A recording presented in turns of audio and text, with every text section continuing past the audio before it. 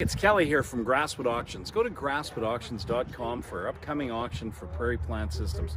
Closes this Tuesday on the 28th of June. We've had some new lots coming in. There's going to be another 30, so you really need to watch the website on Monday and the catalog because we've got more items that we're adding to it. So for example, we've got a bunch of cement equipment in here. We've got some Monarch cement mixers with Honda gas-powered motors on them. They're 12 cubic feet approximately. We've got uh, 500 to 1,000 feet of brand new one inch nylon rope.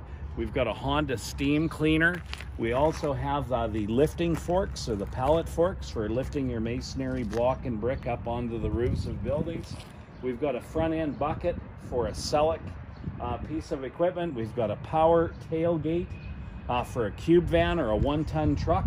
And we're, we've also got the C-cans, two 20 footers that have come up in the sale. And we're gonna give you a shot of some uh, storage buckets from the front in one minute.